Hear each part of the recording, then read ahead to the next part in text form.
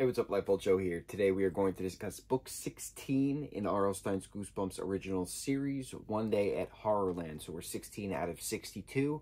The goal is to finish before Halloween. We can do this. So this is very quick, 123 pages. Um, as we see, this is a secondhand book. Someone got this at 10% off publisher retail. I decided to keep the sticker on when I got this, and I was like, ah, memories of somebody else's work. So, Horrorland, right? So there's these green monsters um, as mascots, there's these green monsters roaming around this amusement park called Horrorland. But what are they? Are they costumed humans? Are they just monsters? Like, what's going on? So there's this this family, the Morris family. Uh, Lizzie is the the main girl, and Luke is her younger brother. Luke's younger brother, no, Luke's friend Clay is with them, and then their mom and dad are with them as well. So there's the five of them going on a, a road trip to this amusement park, but they get lost, and they're trying to salvage the trip, so then they see a giant billboard that says, you know, Horrorland. The billboard is actually the same exact thing here. This monster comes up and bites, you know, the air and then comes back down. Welcome to Horrorland, where nightmares come to life, right? So they follow the, the signs. They park into this pretty much abandoned parking lot. There's only a few cars in there. And they go exploring through this amusement park. There's free entry. But before all this happens, as soon as they park and walk up to the ticket booth, their car explodes. You're like, how are we getting home? There's no phones in the park. What's going on? So there's these different attractions that are horror induced. There's a, a barn filled with bats, but then when the light come back on, there's no nothing there. There's a slide to Doom called Doom Slide. There's a bunch of other things. House of Mirrors. The parents um, are just trying to figure out how the way to get home, and then they can't find the kids anywhere. There's an alligator pond. Then they all take a coffin trip down the river. It's uh, it's it's very spooky because when the when you think you're gonna die, that's when the the ride stops. So then that's when you get out of the coffin, or that's when you go up out the chute for the slide and land in the grass. So there's random families throughout. There's random groups of teenagers throughout. Then as the, the day progresses, slow and steady, less people are there.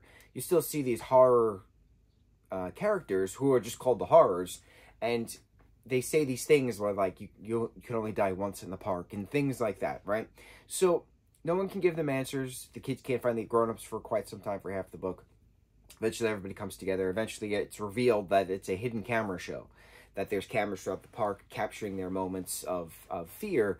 But it's then realized that these uh, costumed characters are not actually costume characters. They're actual monsters. And there's a bunch of signs all around that say no pinching. So then Lizzie figures it out because the main monster is saying nobody takes us seriously. And she's like, wait a minute, well, why is the sign there if it's supposed to be serious? So she pinches the arm of this monster, who then air escapes and she deflates. And then they realize that they can defeat the monsters. So they start pinching everybody. And then they steal a bus. And then they drive on home. Um, and then a monster is, is hitchhiking in the in the back and then you know says hey, hey you forgot your passes for next year and then that's it. So it, it is a true story of one of my favorite tropes. Anything can happen in a day. We talked about that within film a lot. Very rarely have i read books that take place within one singular day. But this book takes place within one day and it's literally says one day at Horrorland. so true to form on the title true to form on the on the cover art thankfully uh, very quick, very fun read. It's our first Goosebumps book that we have in an amusement park setting, so that was very different. I'm all for an amusement park. I'm all for a carnival. I'm all for a mall. Give me any of those three things, I'm going to love it immediately. Throw in the fact that it's one one day, love it even more. Also throw in the fact that it's about monsters and scary, scary, spooky stuff. Love it infinitively. So this is another iconic, you know, uh, cover in regards to a lot of Goosebumps representation has this cover, you know, whether it's shirts now for nostalgia purposes or things like that.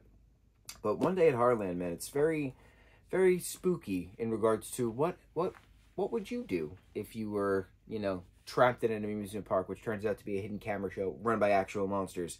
Do you then start killing everybody and then steal a bus and drive your way home hours later?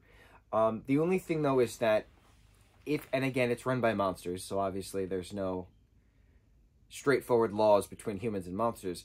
But if you're in a hidden camera show, you do have to sign a release form at the end of that. That much I know. So that's the only illogical part of this fictitious book about monsters running in an amusement park. But I'm nitpicking. It's okay. We did it. Book 16.